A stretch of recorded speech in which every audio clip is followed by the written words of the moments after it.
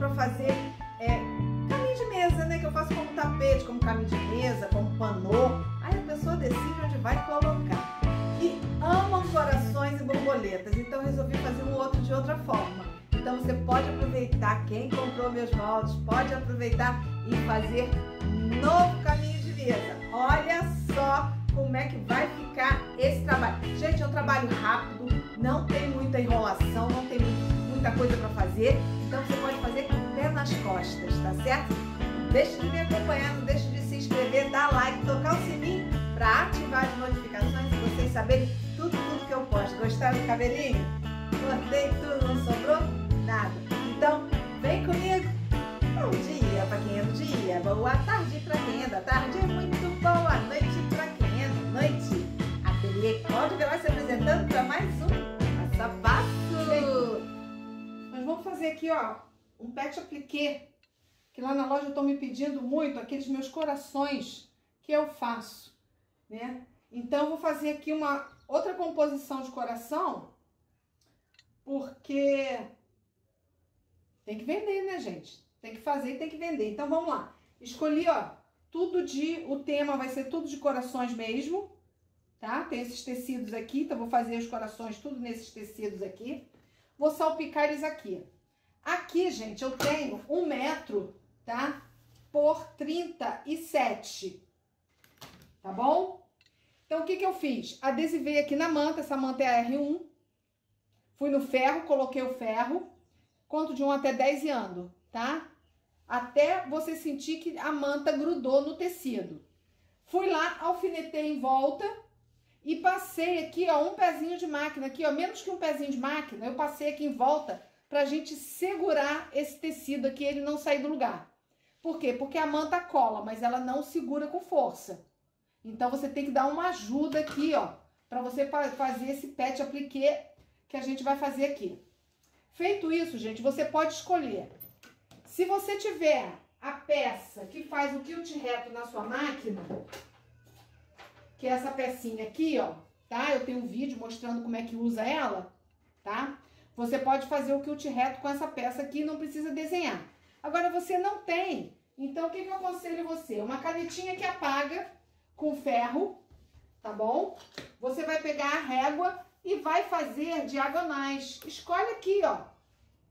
Essa régua que tem 60, escolhe aqui, ó. Faz uma diagonal aqui e daqui você vai puxando as diagonais, tanto para um lado como para o outro. Aí é você que escolhe como é que você quer fazer esse quilt. Por quê? Porque você tem que segurar esse tecido na manta, gente. Porque senão fica fofo, fica frouxo e fica feio, tá? Acabamento é a principal arte do seu trabalho. Ou você pode fazer um caminho de bêbado, que é aquele que você vai andando, andando, andando, né? Igual um doidinho, tá? Pra você fazer o fundo aqui e fixar. Eu vou fazer o caminho de bêbado porque eu não tô afim de fazer risca, nem tô afim de, de usar outra peça, não. Então, eu vou fazer o caminho de bêbado aqui. Gente, nem adianta me pedir para ensinar caminho de bêbado, porque eu não sei. Porque meu bêbado é bêbado mesmo. Entendeu? Tá bom? Aqui a linha que você pode usar ou fundo branco ou fundo cinza. Tanto faz. Mesmo que fosse um tecido colorido, você poderia colocar um fundo cinza que ia ficar maneiro aqui. Turma, não deixe de compartilhar, se inscrever, dar like, tocar o sininho para ativar as notificações e vocês saberem tudo, tudo que eu posto, tá? Quer falar comigo? Acesse aqui embaixo nas descrições, meu telefone, contato, calculadora, tem tudo aqui embaixo, aqui nas descrições aqui para vocês falarem comigo ou saberem preço de molde, essas coisas, tá? Então, vou fazer esse quilt aqui e já mostro para vocês depois de quiltado. Gente, não deixa de colocar os alfinetes aqui, porque é uma segurança para vocês fazerem essa costura lateral, tá bom? Bem, então aí, ó. Não é Brastemp não, né? Mas a gente faz o que pode. Linha branca no branco é difícil até de ver, né? Já fiz aqui, ó, Vou agora ver o tamanho dos corações que eu vou fazer. Usar o papel termocolante, tá? Não é o filme, gente, é o papel termocolante, aquele que a gente puxa assim e adesiva. Por quê? Para ajudar a gente a colocar. Pode colocar cola, Cláudia? Pode, pode colocar cola, mas a cola você colocou o coração. E você não quer ele ali, se você tirar, a cola vai ficar. Tá? Esse tiver passado algum tempo, quando você puxar, vai, vai acabar com o seu trabalho.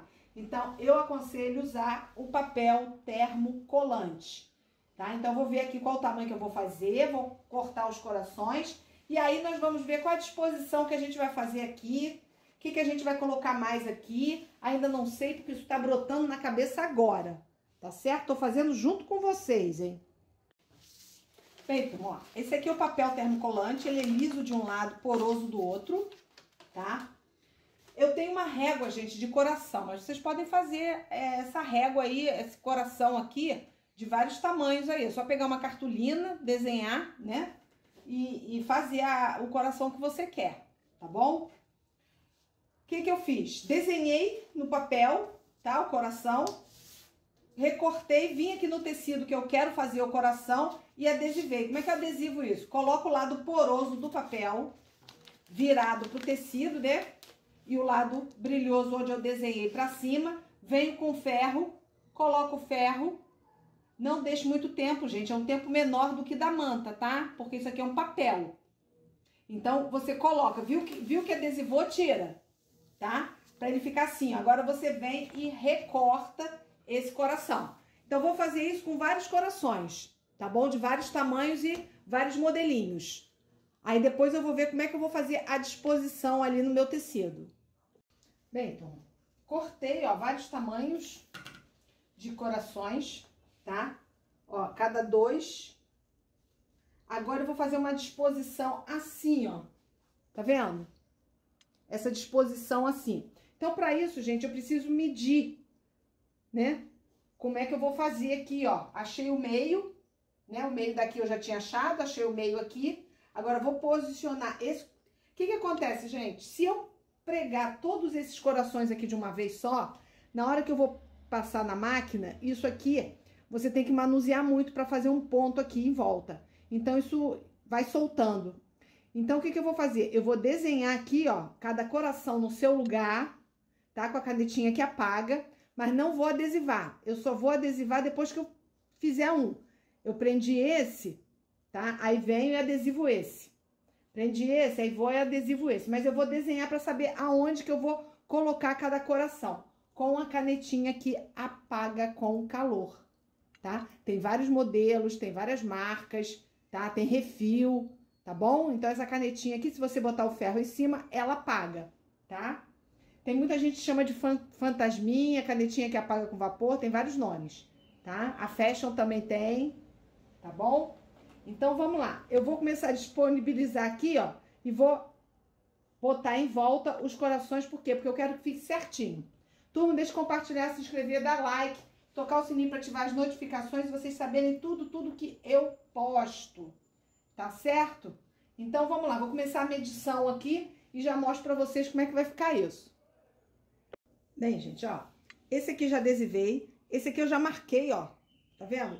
Fiz aqui em volta, porque quando eu for colocar esse aqui, eu já sei onde eu vou colocar, tá? Ó, todos esses aqui tá marcado. Depois que eu fizer esse lado aqui, gente, aí eu vou medir aqui a distância e vou fazer o lado de lá, tá certo? Então, vou fazer aqui, ó, um pontinho de caseado. Você pode fazer com ponto zigue-zague, você pode fazer à mão, tá? Você, mas precisa fazer um ponto aqui, a não ser que você use o papel permanente, tá? E não o papel termocolante. O permanente você adesivou, acabou, tá? Você não precisa fazer acabamento nenhum. Mas eu gosto de fazer o acabamento que eu acho que fica mais bonito, tá bom? Então, vou pregar esse aqui, pregar esses outros aqui que já estão marcados, ó, os corações já estão marcados aqui, tá? Então, vou pregar essa leva aqui. Pronto, turma, olha só. Já prendi, ó, tá? Os quatro. Agora, eu vou medir todas essas posições aqui e colocar do outro lado, tá? Aqui é mais fácil, porque como eu fiz aqui, ó, esse quadrado aqui, ó, então é só colar essas duas pontas aqui. Mas daqui pra cá eu tenho que medir pra colocar eles mais ou menos na mesma proporção, tá? Gente, não vai ficar um Brastemp, porque isso aqui é artesanato. Não tem como ficar milimi, milimetricamente, ó, já cheguei a embolar a língua, hein? Milimetricamente certo, tá? Então, a gente vem aqui, ó, Pega aqui o papel, ó. Dá um corte. Cuidado para não vazar o papel, né? tira, ó. Aqui. Aí, vou vir aqui, ó, onde eu fiz aqui o detalhe aqui, ó. Vou encostar essa parte aqui, essa aqui. Essa aqui praticamente é fácil de colocar, porque eu tenho aqui, ó, o limite dela aqui, ó. Então, vou fazer o pontinho e depois vou vir medindo direitinho e colocando. Certo? Não vou precisar fazer aqui, ó, gente, do jeito que eu fiz. Por quê? Porque eu preciso medir e colocar, medir e colocar, tá bom? Então, vou fazer aqui, terminar esse lado aqui. Vamos ver se a gente vai colocar mais alguma coisa aí. Bem, turma. Prendi tudo, tá? Coloquei aqui, ó, duas borboletas tá? Você pode colocar qualquer coisa, não colocar nada, fazer mais coraçõezinhos pequenininho, tá? Colocar mais, aí vai de vocês, tá bom? Esses cantos aqui de baixo não coloquei absolutamente nada, tá? Coloquei o forro, gente, esqueci de mostrar pra vocês. Eu uso, ó, cola temporária, porque essa manta é R1. Se fosse R2, era só colocar o forro era só colocar o forro e, e adesivar, igual que você fez do outro lado. Como não tem cola desse lado, eu usei a cola temporária, tá? Coloquei sempre maior, coloco maior, adesivo a cola, depois alfineto e corto certinho, tá? Então o forro já está colocado. Fiz duas faixas, ó, de 6 centímetros de largura, porque eu vou colocar aqui, ó, uma borda, ó, essa borda aqui, ó, tá? Então, como é que eu faço? Direito, para baixo com o avesso, vou passar um pezinho de máquina aqui. Aí vou vir aqui, ó, bater a ferro, ó. Vou vir aqui, ó, bater a ferro e virar aqui para fazer essa borda. O que eu fizer desse lado aqui, eu vou fazer do lado de lá. Não tem bicho de sete cabeças nenhum, tá? Então, você prega aqui, ó, direito com o lado do avesso. Pronto, gente, ó. Dobrei, já fiz o barrado aqui. Ó. Gente, vocês podem fazer canto mitrado, tá? É que eu não tô com saco de fazer canto mitrado, não. Agora, gente, você vai pegar, ó, outra faixa, vai fazer a mesma coisa, ó, só que você vai deixar sobrar um pedaço aqui, tá? Esse pedaço que você vai deixar sobrar aqui, você pode, ao prender, você já pode prender ele assim, ó, finalizando assim, ou deixar aberto e depois na hora de finalizar, ó, Deixa assim, na hora de finalizar, você vem aqui, ó, faz, dobra pra dentro e fecha. Tá? Aí você vê se você quer deixar sobrar ou se você já quer finalizar ele já com a dobra aqui, ó. Ó, já dobra aqui e começa aqui, ó.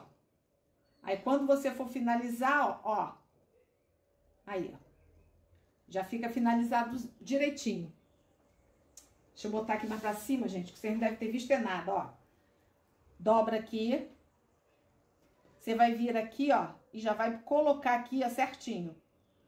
Depois você passou aqui o pezinho de máquina, você vai bater no ferro, vai virar. Aí vai virar aqui de novo e vai vir aqui, ó. Aí vai ficar aqui, ó, feito o acabamento direitinho, tá vendo? Ó, tá? Fica o acabamento direitinho. Ou você deixa aberto, sobrando, tá? Vai prender aqui sobrando, depois você vai virar, ó. Aí você vai vir aqui pra dentro, ó. Aí vai vir a dobra aqui e vai finalizar. Você escolhe qual a maneira que você quer fazer, tá? Então, vou fazer esse lado aqui e aquele, e aí nós vamos, gente, ter terminado o nosso trabalho. Olha que maravilha! Gostaram, né? Então, vou terminar aqui e já mostro pra vocês. E aí, turma? vocês acharam? Não foi na, na moleza. Diz que foi moleza. Coloca aí o like dizendo que foi na moleza. Gente, muita gente me pergunta de onde sou. Eu sou de Niquite, Niterói, Rio de Janeiro, do outro lado da poça. Gente chama a Baía de Guanabara de poça aqui, tá certo? Gostaram do cabelo? Gostaram? Quem gostou, dá like aí, gente. Diz que eu fiquei linda. Hein?